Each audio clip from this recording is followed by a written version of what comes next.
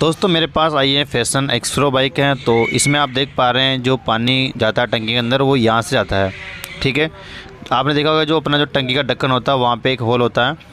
और देखिए, इसमें आधा लीटर से भी ज़्यादा इसमें पानी मैंने निकाल दिया। पानी और वाटर इसका मतलब पानी और पेट्रोल इसका मिक्स हो चुका है, जिससे गाड़ी में प्रॉब्लम आ रही है, बाइक स्टार्टिंग और दिक्कत कर रही है और रेस्ट नहीं ले रही है बाइक।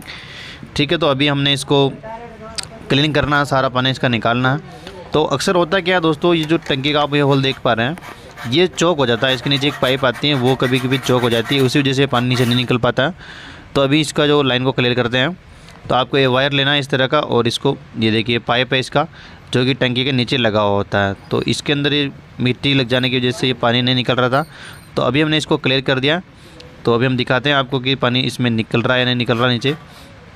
तो अभी देखिए, सही से निकलने लगा, मैंने इसको क्लियर कर दिया है। अगर आपकी बाइक में भी पानी अगर घुस जाता है तो सबसे पहले आपको यहाँ से चेक करना देखिए। जैसे मैं ऊपर से पेट्रोल डाल रहा हूँ तो देखिए, यहाँ से निकलने लग गया नीचे से। तो ये इस तरह से काम करता है। अगर दोस्तों, आपकी बाइक में भी अगर पानी घुस रहा है, अगर आपकी बाइक एच एफ़ लक्स है या इस तरह की बाइक है तो आपको इस होल को ज़रूर चेक करना है।